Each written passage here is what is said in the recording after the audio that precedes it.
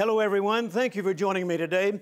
I am so thrilled that you've taken the time out of your busy life to join with me and allow me to make an impartation into your life.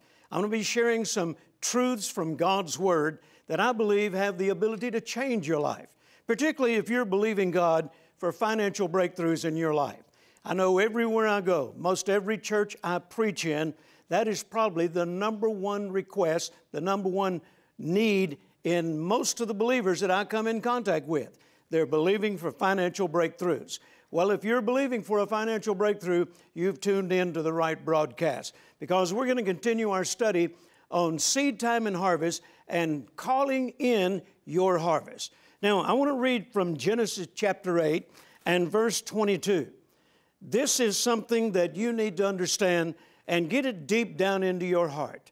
Genesis 8:22 makes this statement while the earth remaineth, seed time and harvest, cold and heat, summer and winter, and day and night shall not cease. Now, we all agree that night is coming, and after that, day is coming. There's not a thing you can do about that. You can't pray, God, I just don't like the night. I don't want any more nights. You can't pray about it. It is a solid fact. It is something that you have to learn to deal with. There's going to be night, there's going to be day. How long? As long as the earth remains. It also says cold and heat. You know, cold's coming, and after that, heat's coming. That's just something you're going to have to learn to accept, and you're going to have to learn to deal with it. I don't care how much you don't like the summertime, it's coming. I don't care how much you might not like wintertime, it's coming. But here's the good thing we need to know as long as the earth remains, so will seed time and harvest. That simply means if you plant seeds, then it is a solid fact there has got to be a harvest. You see, when God created seeds, and we find this in Genesis chapter 1, when God created seed, the last thing He said to seed was grow. That's all seeds know to do, is to grow. That's what they're supposed to do, grow. You know, I've said this on previous broadcasts, but it keeps coming up in my thinking, so I want to repeat it. A few years ago, we were doing one of our Church Light Christian biker tours, uh, and we do these all over the nation and in other nations as well. This particular time, we were riding across the state of Colorado. And we're riding, you know, and looking at the beauty on both sides of the highway. We're up in the Rocky Mountains, and I'm looking off to the side, and I see these trees growing out of a mountain. Now, you understand how difficult that is? A tree is growing out of the side of a mountain. And as I looked, in fact, I followed it all the way as far as I could, and I'm thinking, how does a tree grow out of a mountain? Well, you know, I don't know how it does it, but I do know this seeds don't know any other thing to do than to grow. I assume maybe that, you know, uh, there was a dust storm and enough dust collected on the side of that mountain, and maybe a bird picked up something in another part of the state and it had a seed in it, and he flew up there and landed on that mountain and dropped that seed off, and eventually, because there was enough soil there, that seed said, Okay, I'm supposed to grow, so let's go for it and the seed began to grow, and a tree wound up in the side of a mountain. That just lets me know how serious seed is about growing. Now, the Bible teaches us that our words are seeds, our thoughts are seeds, our actions are seeds. The Bible even tells us that when we give, when we when we give unto other people, when we give to God, that's also referred to as sowing. The apostle Paul referred to this in 2 Corinthians chapter 9. And he says, Whatever a man sows, that will he reap. If you sow sparingly, you will reap sparingly. If you sow bountifully, you will reap bountifully. And if you keep reading that chapter, he was talking about finances. He was talking about sowing finances. And he referred to finances as seed. So that means, just like if I plant a watermelon seed, I should expect a watermelon, a watermelon rather, to come up. If I plant orange seeds, I should expect oranges to come up. If I plant tomato seeds, I have every right to expect tomatoes to come up. Well, when I plant financial seeds. The Bible says, I have every right to expect a financial harvest. Why? Because as long as the earth remains, seed time and harvest shall not cease. So if you plant financial seeds, then start expecting a harvest. You know, I have people tell me, well, Brother Jerry, I've been giving all of my life, but I didn't know I had a right to expect a harvest. Well, according to the Word of God, you do. Now, let me say this. When we give to God, it ought to be out of love, it ought to be out of our, our uh, loyalty to Him, our commitment to Him. I don't just give to get, but God made the rules. He did say, if I give, that I'm entitled to a harvest. I give to God because I love Him. But at the same time, He loves me and He loves you so much that He says, hey, when you do this, I promise you that you'll receive a harvest. Remember, it was Jesus who spoke these words in Luke 6:38. It's Luke 6:38, not Jerry 6:38, Luke 6:38. And it says, "Give and it shall be given unto you." In other words, you can expect a harvest. Not only that, he said, but he'll cause your harvest to be far greater than your seed. Give, and it shall be given unto you, good measure, pressed down, shaken together, and running over. In other words, your harvest should be far greater than the seed. But see, that's true whether it be tomatoes or apples or watermelons. You plant that one little seed at one little tomato seed, and you're going to get a far greater harvest than just one tomato. So understand that you have a right to expect a harvest from every seed that you sow. Now, I want to say this to you. I wrote this in my notes, and I wanted to be sure I read it to you because I didn't want to forget it. The key to operating in God's laws and to avoid frustration and the temptation to quit is to understand that with God, there is an appointed time, there is a due season for everything. Ecclesiastes chapter 3, verse 1 says, To everything there is a season. Now, I understand that. I realize that in the natural, if I plant tomato seed, I, I'm, I'm not going to get upset and frustrated because I don't see tomatoes, you know, springing up by morning. I know there is a season, there is a waiting period. And so I understand that, so I don't get frustrated. The farmer doesn't become frustrated because he sowed his seed yesterday and he doesn't see a harvest tomorrow. He understands to everything there is a season. Well, it's the same way with finances. When you sow your finances, don't get frustrated because you don't see a harvest by nightfall. Now, God could do that, and I've had him do it for me numerous times. But if it doesn't happen before dark, I don't give up. I don't get frustrated. I don't quit. I don't go around saying this stuff doesn't work because I know to everything there is a season. So let me read that statement once again. The key to operating God's laws and to avoid frustration and the temptation to quit is to understand that with God there is an appointed time or a due season for everything.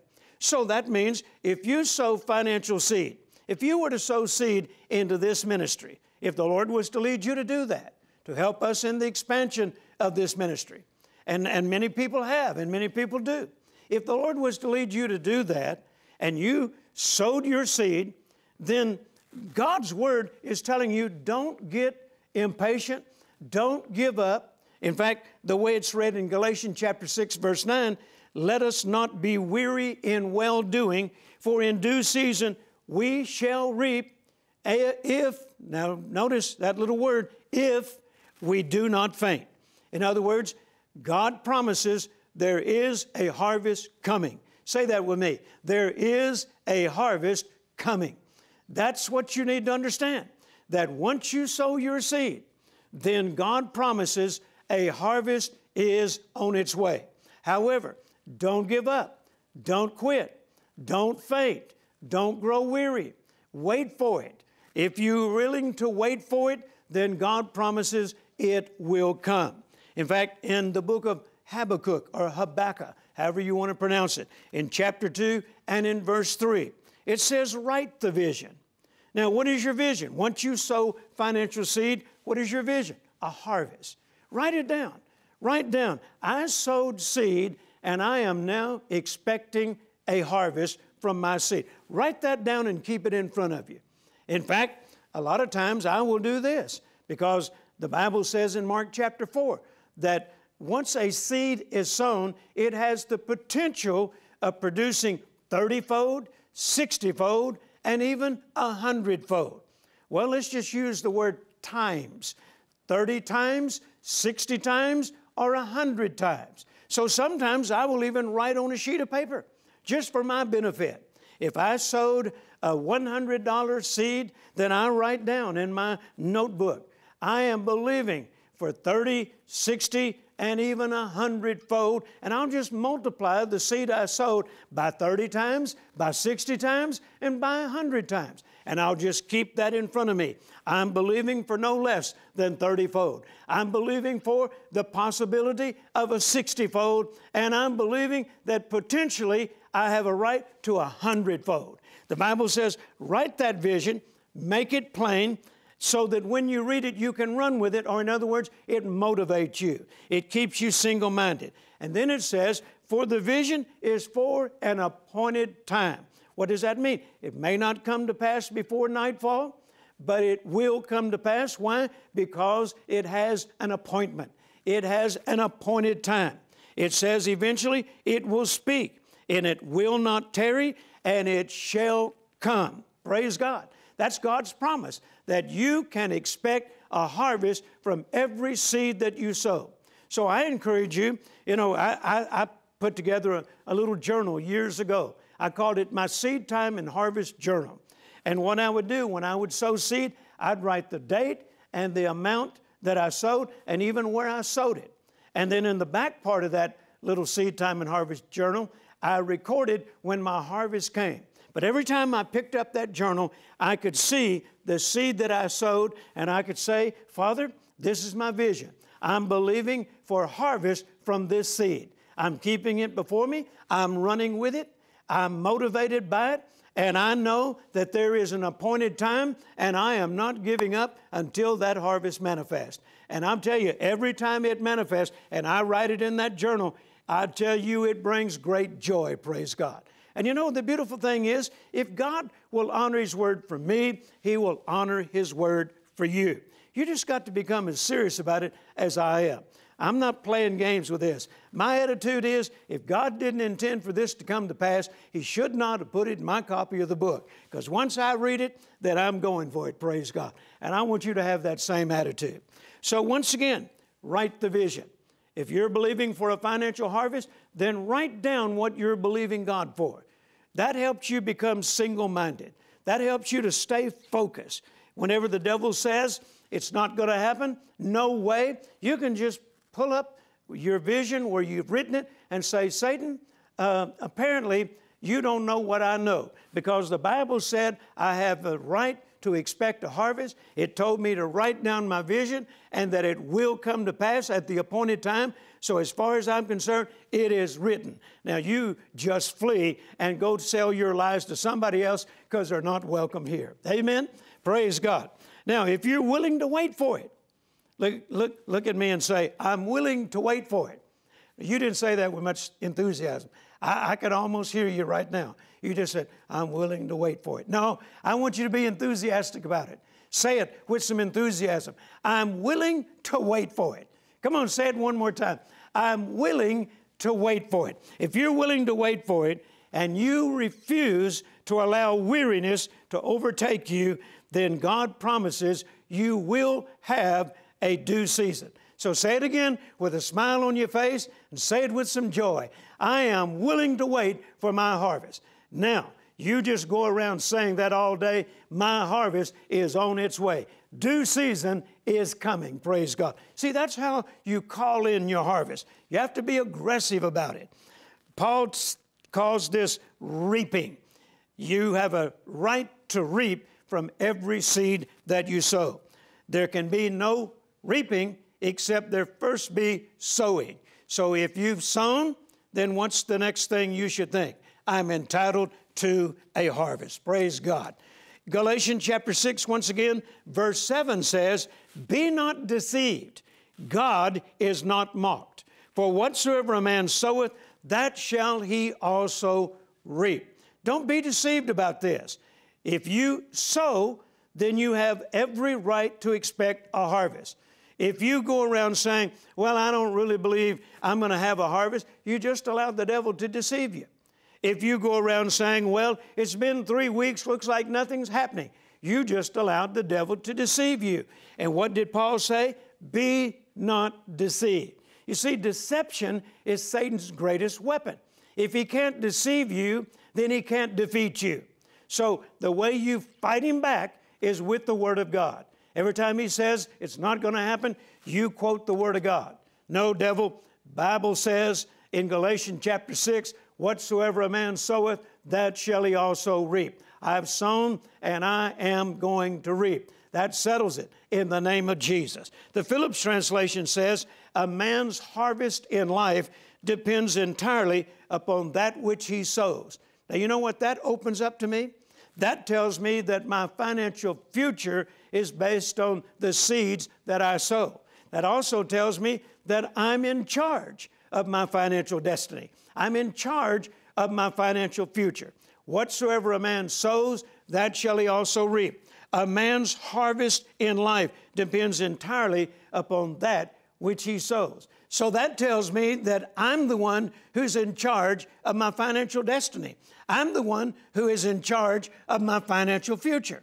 Why? Because my harvest depends entirely upon the seeds that I sow.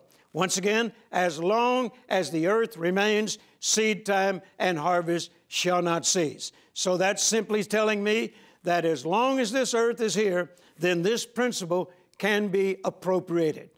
Have you got that understanding now? Is that a revelation to you today?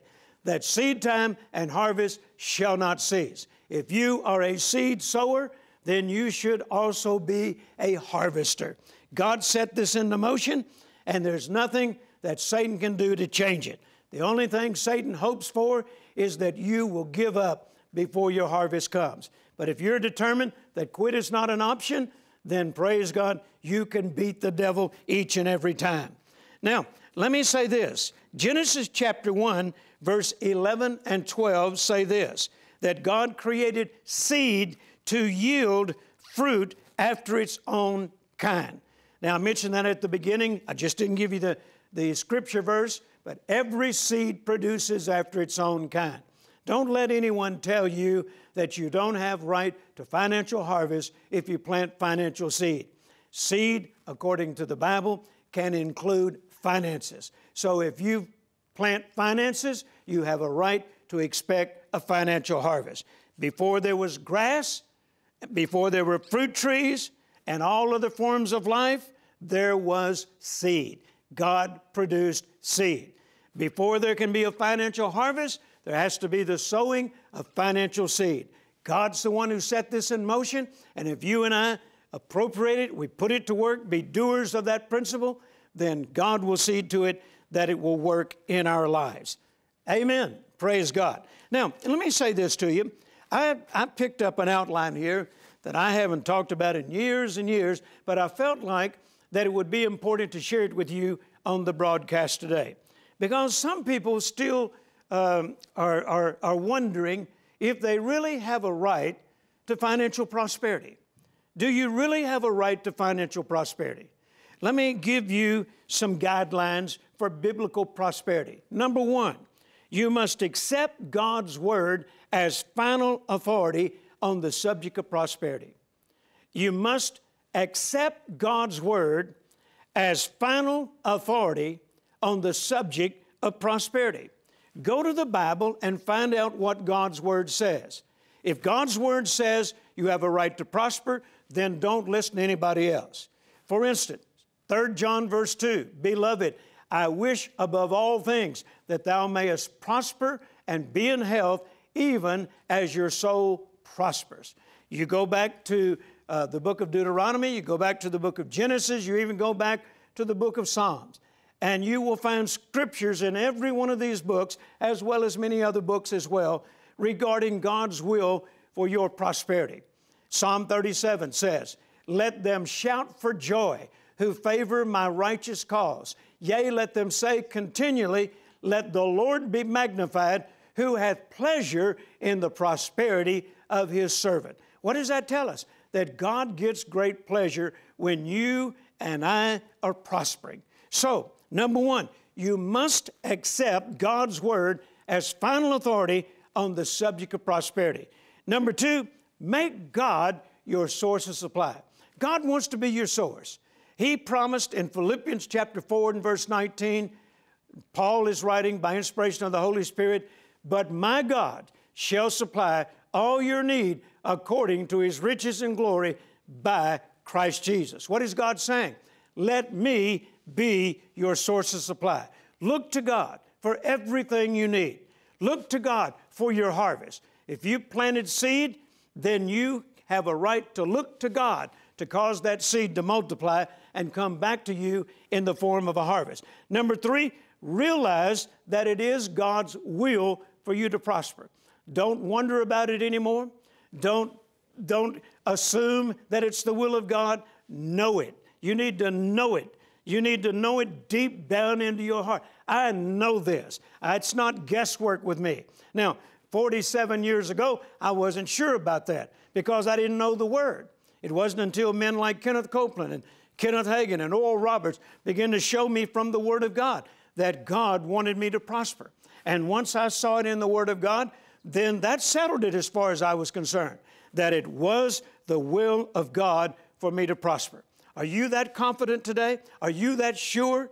Has it something that you've settled in your heart that it's God's will for you to prosper? See, you're, you're not going to be real confident about a harvest if you're not first completely sure and confident, based on the Word of God, that it is God's will for you to prosper. Then, number four, understand that prosperity is conditional. It's not automatic, it's conditional, which leads to number five realize that obedience is a major key to you prospering. That's the condition. If you will obey and serve Him, the Bible says in Job 36 11, then you will spend your days in prosperity and your years in pleasure. Obedience, obedience to God's word. If He says give, give. If He says tithe, tithe. If He says uh, be a blessing, be a blessing. Obedience is a major key to prosperity in your life. And then, number six, realize the need for consistency in your giving. Don't make giving a one time event, be consistent. Look for opportunities to sow all the time. Number seven, know the stumbling blocks to prosperity and avoid them. The Bible says prosperity destroys a fool. What's a fool? Well, one of the definitions is somebody that thinks that he gained all this prosperity on his own might and his own ability. No, if it wasn't for God, you wouldn't be able to prosper. So avoid the stumbling blocks to prosperity. Don't become a fool. Keep sowing, keep trusting God, keep looking to God as your source. And then finally, number eight, you must understand that prosperity is progressive.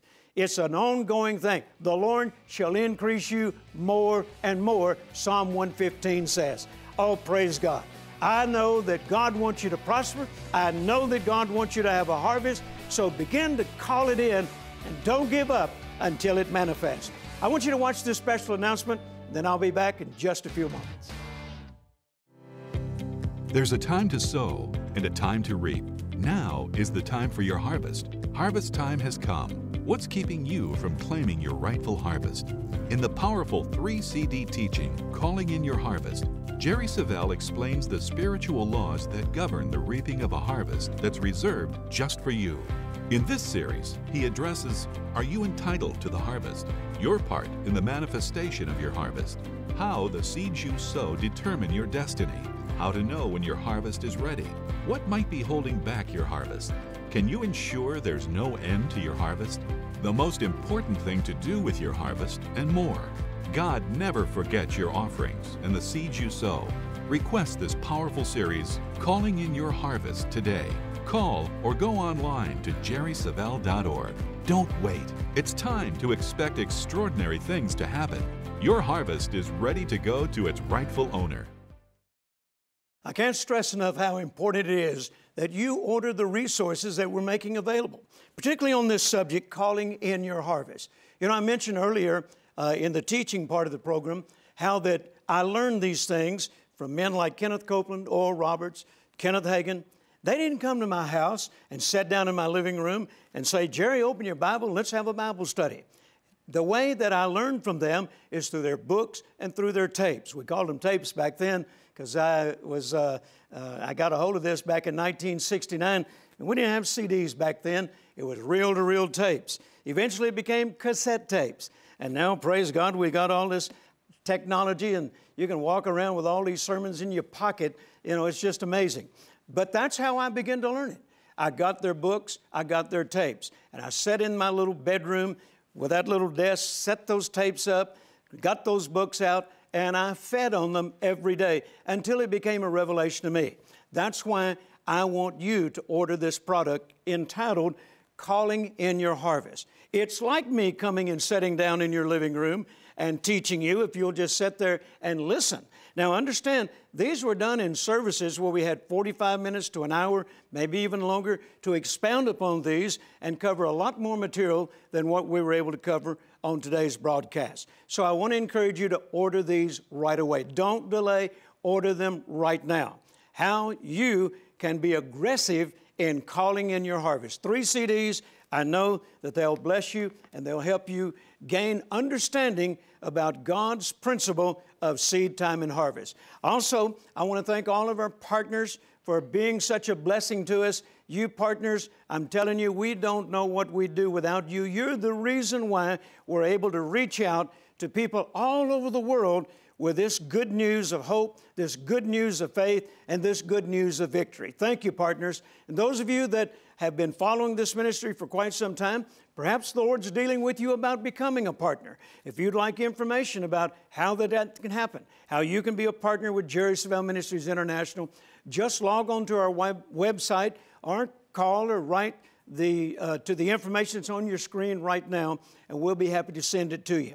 We believe that partners not only are givers to this ministry, but are receivers as well. Because just like Paul said to his partners in Philippi, he said, You are now partakers of my grace. The grace that is on this ministry comes on your life. So, consider being a partner. Also, don't forget social media. We've got Facebook, Twitter, Instagram, live streaming of our church services, Heritage of Faith Christian Center. There's the Jerry Savelle Ministries mobile app. Take advantage of all these things because they're designed to help you in your spiritual growth. I'll see you again next week. Until then, remember, your faith will overcome the world.